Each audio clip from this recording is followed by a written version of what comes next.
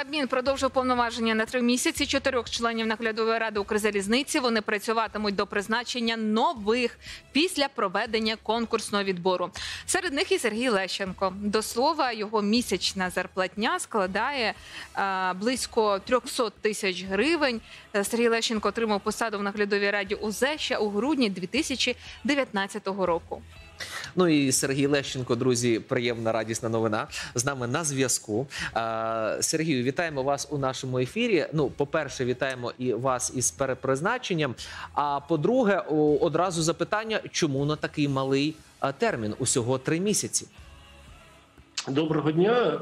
По-перше, я вам хочу сказати, що об'єктивність вимагає говорити про деякі речі повністю. Не все, що я, не те, що подобається, а повністю. Зарплата в річному вимірі за минулий рік вона була в два рази меншою, близько 160 тисяч гривень. Я не кажу, що це зарплата там маленька і так далі, але об'єктивність треба завжди тримати. По-друге, е, зараз в нас справді в Україні діють принципи корпоративного управління. Ці принципи не я затверджував. Ці принципи функціонують, і в Україні близько 100, я думаю, навіть 150 членів різноманітних наглядових рад.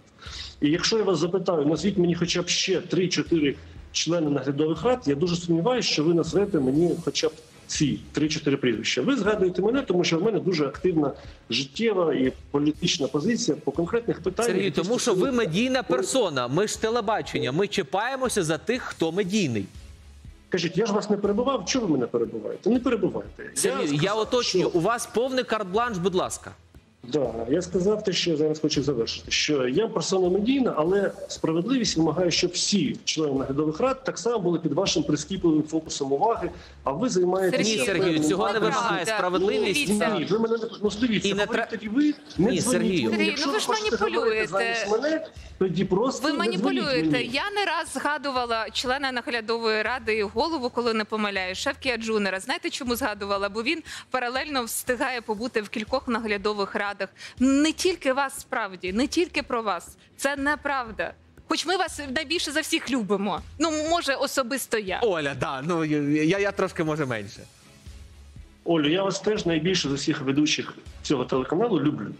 Тепер, що стосується історії про наглядові ради, дозвольте, я буду завершувати, а ви мене не будете перебивати, тому що це не гарно, коли ми не можемо закінчити думку. От я до чого веду, що якщо Сергію, але пам'ятайте, що в нас прямий ефір, прошу. Так тому та й можливість, що це можливість сказати більше, ніж коли це цензурований ефір. Так я й до, до цієї думки підходжу, що в Україні діють такі стандарти. Є 150, можливо, членів всіх наглядових рад. Ви згадуєте мене за мою активну позицію. Я вам дуже вдячний. Моя активна позиція полягає в тому, що Укрзалізниця має бути врятована від банкрутства, і повірте мені, банкрутство її не через зарплати членів наглядових рад станеться, які ми собі не затверджуємо. І до речі, зі своєї зарплати я частину віддаю на благодійність і е, кисневі концентратори або біохімічні аналізатори, які працюють в лікарні Укрзалізниці, куплені за мої гроші. Не в цьому проблема. Проблема в тому, що в українській залізниці хронічно не вистачає грошей в мільярдних сумах. А мільярдні суми ці втрачаються через декілька рішень, які досі не ухвалені. І ключове це, це підвищення вартості перевезень для олігархічного бізнесу в частині перевезення залізної руди. Аграрного сектору це теж стосується. І я радий повідомити, що напевно вже до кінця цього літа нові правила запрацюють. Наглядова рада наприкінці травня подала клопотання до відповідного міністерства, щоб було прийнято наказ про підвищення рівня, яка власне ціни перевезення залізницею залізної руди.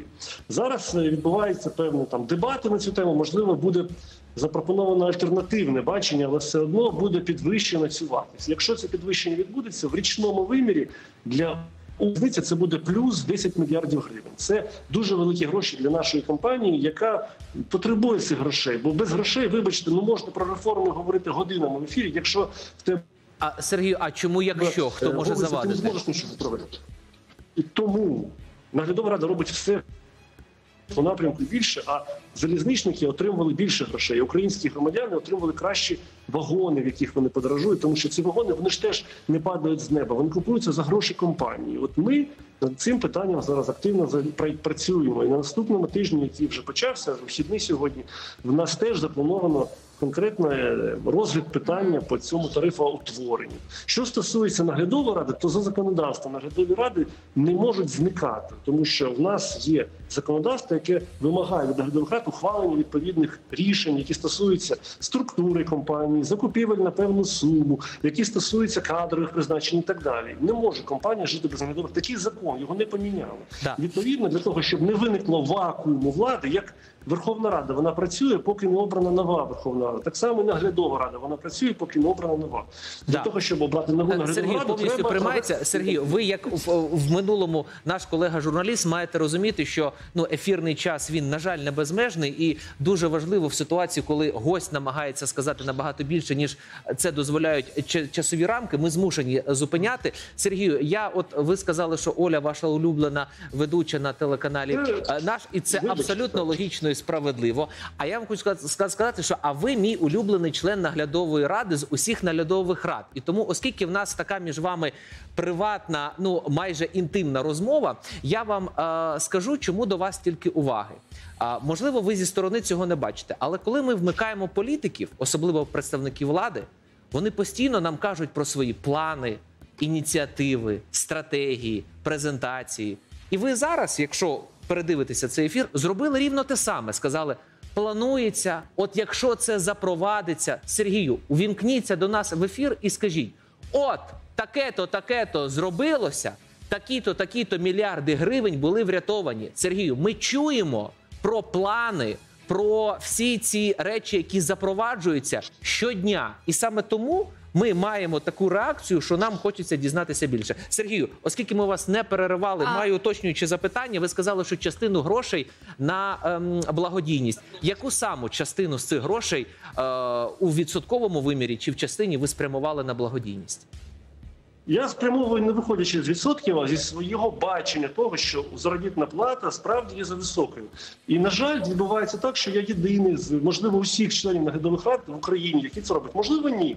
Принаймні мені про ці факти невідомо. Можливо, інші члени теж це роблять, просто вони нехай це Сергій, зроблять. ну навскидку, одна Що десята, стосується- половина або більше що половини. Стосується, що стосується вашої першої репліки, значить, про, про благодійність я її роблю регулярно. Це було зроблено наприкінці минулого року. Це було зроблено в цьому році.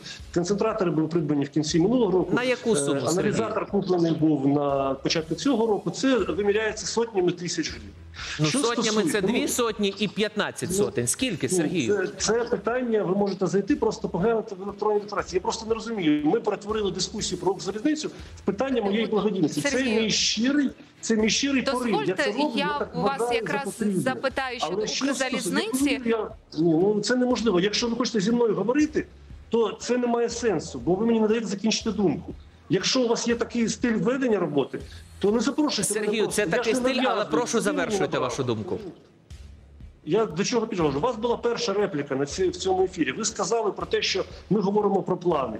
Якби в наглядової ради за законом були повноваження прийняти рішення, воно працює з завтрашнього дня так, то повірте, Укрзалізниця була вже зовсім інша. Але в Україні діє різнорівнева система управління і тарифи на залізничні перевезення, на жаль.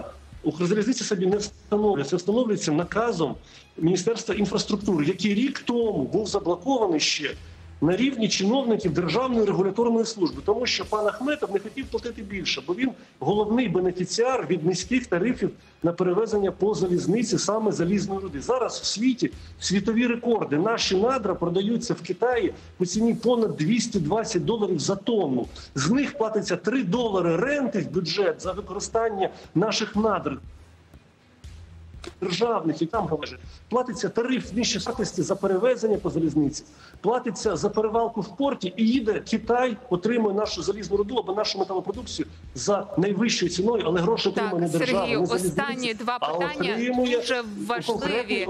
Перше, чи хочете ви далі продовжувати свою роботу в наглядовій раді? Чи є у вас таке бажання? І друге, можливо, маєте якісь інсайди щодо а, майбутнього керівника самої Укрзалізниці? Поговорюють, не може стати криклій, він сам не заперечує. е, я закінчу ту думку, яку ви мені не дали закінчити, потім відповім на Ні, ваше. Сергію, ефір не безмежний. Будь ласка, дайте відповідь на запитання. Ну тоді не дзвоніть мені, якщо вас не цікавить моя думка. Навіщо ви подзвонили мені? Щоб що? Щоб вам було вигідно на мою Щоб Ви- на вас Вам подивитись. Чи вас цікавить моя думка? Ви хочете почути відповідь? Сергію, по Криклію, Якщо він може очолити Укрзалізницю чи ні? Якщо вас цікавить моя думка, я завершу по тарифах, тому що це ключове питання мого працевлаштування. Воно виглядає Сергію, Боже, завершіть вже вашу думку. Я Богом молю, прошу. Тепер стосується, що стосується рішень по тарифам, то влітку цього року є ключовим. Якщо ми влітку цього року не приймемо, то ми цього ніколи не приймемо. Тому ми будемо доводити це рішення до кінця, і жодні інформаційні атаки нас не зупинять. Що, що стосується керівництва Укрзалізниці, то за законом ця людина має бути обрана на конкурсі. Цей конкурс має відбутися в Україні найближчим часом. Будуть подаватися кандидатури, які будуть відповідним чином оцінюватися і обрано нового керівника. Що стосується Владислава Криклія, то я не знаю про походження цих чуток. Якщо ви озвучите джерела, які ці чутки поширюють, я зможу дати компетентно. Чи це людина релевантна, вона працює в владі, чи це є на паркані написано, чи це навпаки може інформаційна атака з метою збити цього кандидата. І тепер е, останнє питання, яке вас е, нагадайте, Чи ви хочете так лишатись далі? На Да. сьогоднішній день продовжено повноваження наглядової ради на три місяці з огляду на те, що не може бути вакуум влади в країні. Президент працює до інаугурації нового. Верховна Рада працює до присяги нового парламенту. Наглядова рада працює до моменту, коли запрацює новий склад наглядової ради. Наглядовий склад наглядової ради формується двома органами. Перше це держава як акціонер, друге це незалежні члени. Коли цей процес завершиться, тоді я дам відповідь на запитання, яке вас цікавить. На запитання, яке Да. вас цікавить. Дякуємо вам, Сергію. Безмежно вам вдячні. Сергій Лещенко, член наглядової ради Укрзалізниці.